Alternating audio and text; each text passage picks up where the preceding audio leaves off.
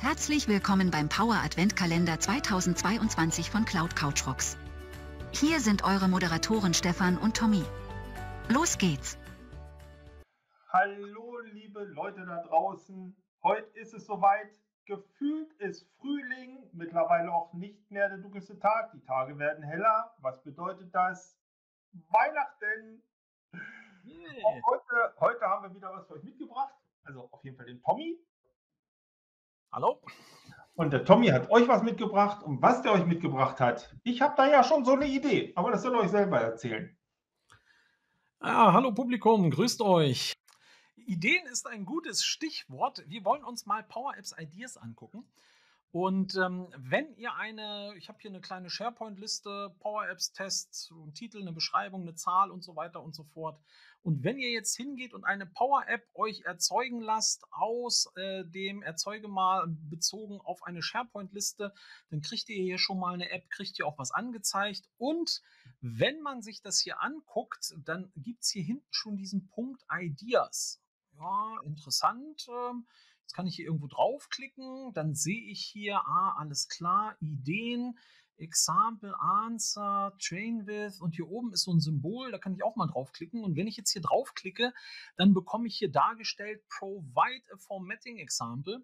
Also sprich, ich kann mir jetzt überlegen, wenn wir mal runtergehen, vielleicht auf die Zahl hier, da nochmal draufklicken und ich sage, hey, das Ganze soll doch bitte mal aussehen wie so eine Währung dann ähm, es hin und dann kriege ich schon mal dargestellt, Mensch, das Feld Zahl, so heißt die Spalte, wenn du das da einträgst, dann wird das Ganze so formatiert, wie es hier oben aussieht. Das ist schon mal nicht schlecht. Das ist, sage ich mal, Power Apps Ideas im Anfangsstadium. Wo, was müsst ihr beachten? Um vielleicht noch eine fürs Ausprobieren noch einen Schritt weiter zu gehen.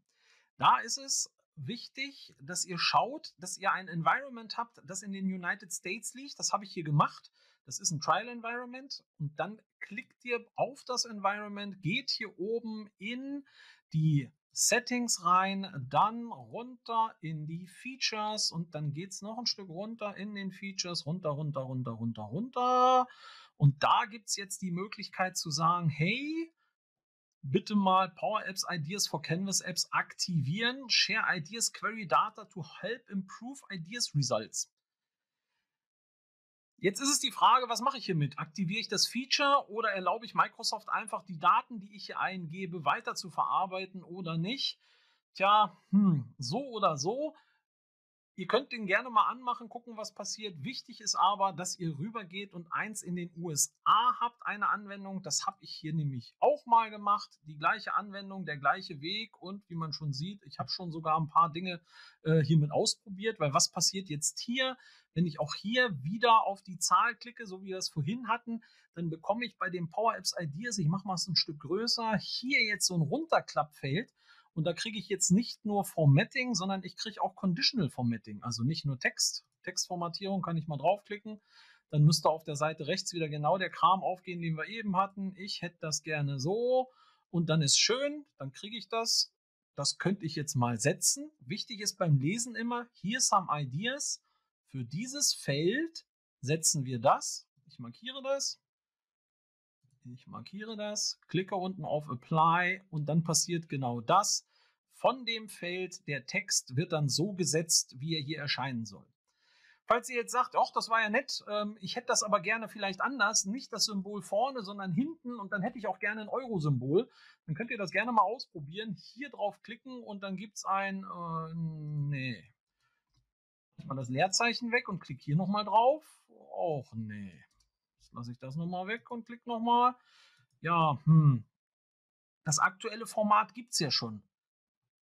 Gut, dann machen wir es anders. Gehen wir nochmal hin. Hier ist das Format. Wir nehmen das Format nochmal wieder raus, haben die normale Zahl, die da drin steht. Ich gehe wieder auf das Zahlenfeld, klappe es runter, gehe auf Textformatting, sage jetzt hier den hier mit Nachkommastellen, aber das Euro-Symbol hätte ich gerne hinten sage okay. Und was macht er? Das hier ist eine App in einem Environment mit einem Browser.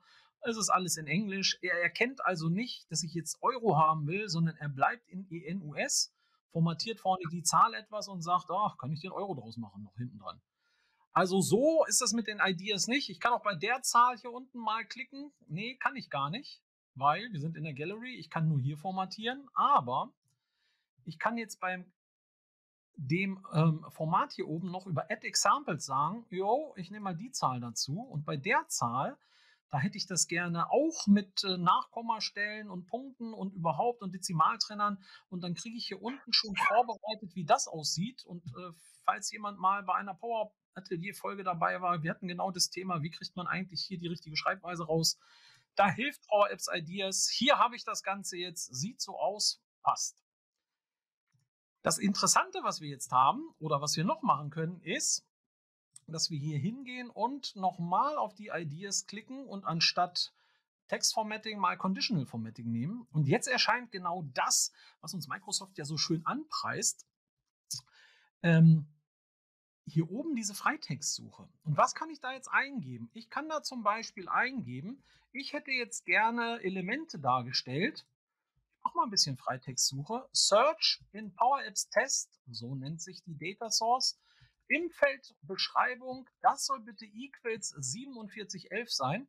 Das möchte ich bitte gerne als Formel aufgelöst haben. Wenn ich dann hier draufklicke, dann braucht er einen Moment und äh, wenn er dann gleich soweit ist, wird er uns, so hoffe ich, ähm, hier unten ein paar Beispiele zeigen, die er jetzt hier leider so nicht direkt auflösen kann. Schade eigentlich, wenn man was vorbereitet und es nicht klappt, ist das immer komisch.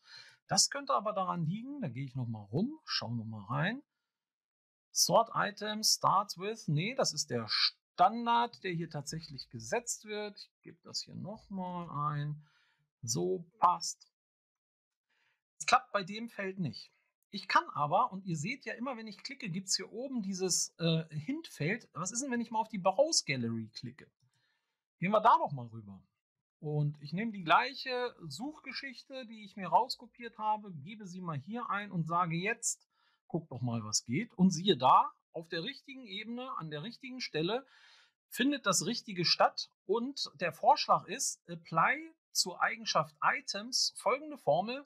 Filter Power Apps, mhm, wo die Beschreibung gleich Text sowieso ist, kann ich hier eingeben, klicke auf Apply und habe damit in der Items-Eigenschaft das Gesetz, was da rausgekommen ist. Finde ich schon mal bombastisch. Was passiert, wenn man es weiter einschränkt? Vielleicht noch wieder hier oben drauf, wieder hier rein und eine kleine Erweiterung. Beschreibung equals 4711 und das Datum equals today, sort by Zahl, descending. Das ist aber viel Zeug, was jetzt drin steht. Aber das geht auch. Wir haben hier Sort, wir haben hier das Filter, wir haben Beschreibung, End, Datum gleich Today und Zahl und die Scanning. Es ist eigentlich alles da, was ich brauche. Apply, rein damit.